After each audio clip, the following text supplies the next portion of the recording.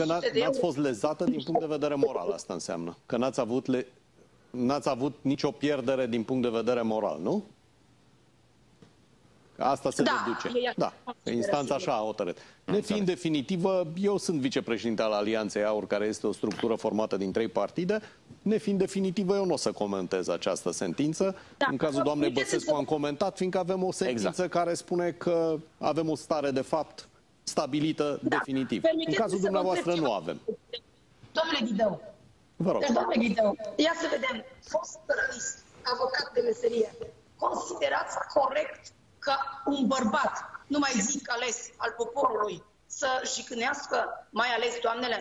Dumneavoastră, cardelean, îi spune soției că nu face ciorbă bună, că a fost să se prostitueze și n-a avut timp să gătească?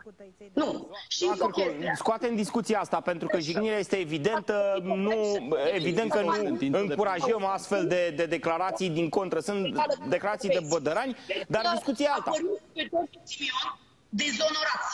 Nu numai profesia de avocat, ci și bărbații. Da. Stimată doamnă, este decizia, decizia mea și dumneavoastră nu aveți căderea morală să mă judecați pe mine, cu tot respectul care îl datorez dumneavoastră uh, și doamnelor, dar nu aveți căderea să mă judecați pe mine, fiindcă am avut plăcerea să ne cunoaștem de câteva secunde.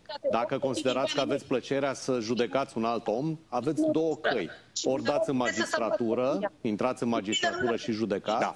Ori vă faceți un arbitru moral, ceea ce nu cred. Perfect. Mulțumesc tare mult, doamna Cârcu din 89 până astăzi nu-și cere scuze în fața poporului român.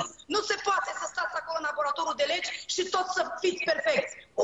Unul la Doamna, am lămurit-o și pe asta. Domnul Ghidău, doamna Cârcu, mulțumesc tare mult. Mulțumesc tare mult pentru explicații. Eu vreau să vă mai întreb un lucru. Uh, și da. un răspuns scurt, vă rog. Uh, doamna, cu ce, sau mă rog, ce sumă de bani uh, var... Uh, cât vreți, domnule, de la domnul Simion, ca să spun așa, să nu să interpreteze alt. Cât vreți, domnule, de la domnul Simion, daune morale? Da, în bani vorbim.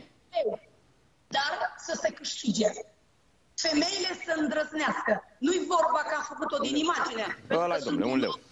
Bun. Gata. Un leu. Mulțumesc.